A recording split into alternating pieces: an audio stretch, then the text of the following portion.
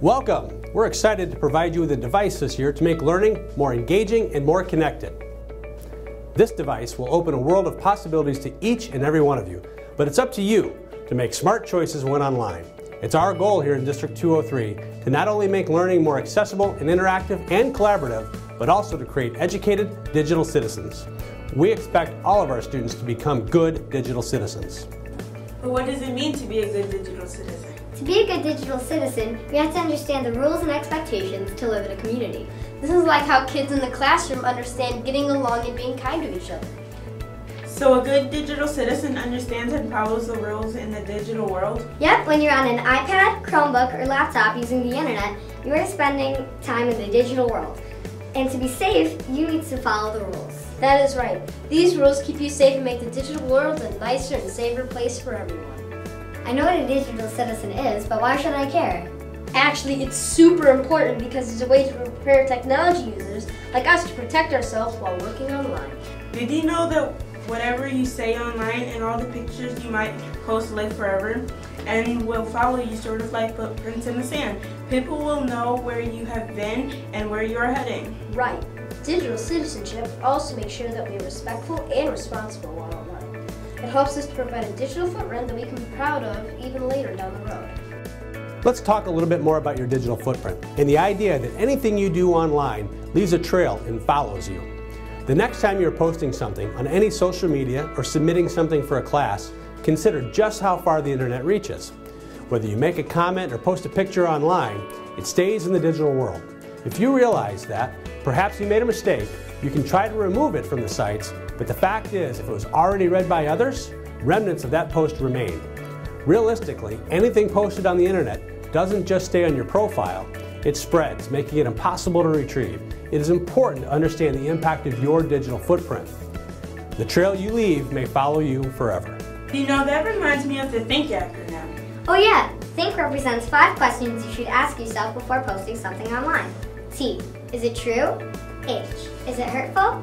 I, is it inspiring? N, is it necessary? And K, is it kind? It helps remind us of what we should think about before we text or post anything online or in social media. It's a good thing to consider, especially since once you post something online, it's there for life. Another way of thinking about digital citizenship is thinking about the rings of responsibility. I remember that. It looks like a bullseye with the center ring being self, the inner ring being family and friends, and the outer ring is community. The rings remind you that there are digital citizenship rules for each of these important areas of our lives. That is right, and we start with the center ring, self. How do you keep yourself safe online, do you know? Don't give unnecessary information about yourself online, like your full name, address, and phone number.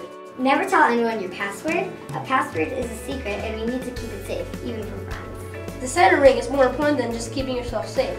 It is also about building a positive digital footprint or reputation. To do that, you have to be careful about what you post. Make sure you only share comments you are proud of. Don't write things that are mean or would embarrass you or someone else. Do you know what the second ring, the family and friends ring, is about? The family and friends ring reminds us not to share information or pictures of friends and family without their permission.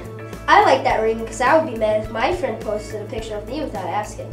My mom does that all the time and I don't like it. Sometimes I have to remind my friends about keeping their password cards covered up. I think looking out for friends and family is also what that ring's about.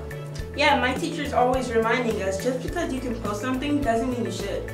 The outside ring is the community ring. That ring reminds us to treat others online as we would like to be treated. A lot of people forget that because they don't see the faces of people online. They forget that they can hurt people's feelings or even their reputation. The community ring also reminds us that we need to stand up to bullying. When people are purposely being mean to others, you need to show others that you don't like it and don't support that kind of behavior. Your generation is considered to be digital natives. You can't remember a time without the internet and it continues to become even more powerful. Your new device will transform learning. You'll have access to more information more frequently. Collaboration with peers will be easier than ever before. Powerful tools exist to push creativity to new levels.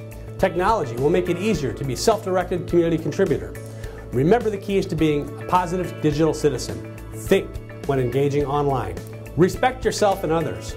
Protect yourself and others. And continue to grow as digital citizens. Throughout your career here in Naperville 203, you will continue your digital footprint. This footprint includes all of your actions online, ranging from posts, photos, to projects. Consider all the possibilities. What do you want your digital footprint to be?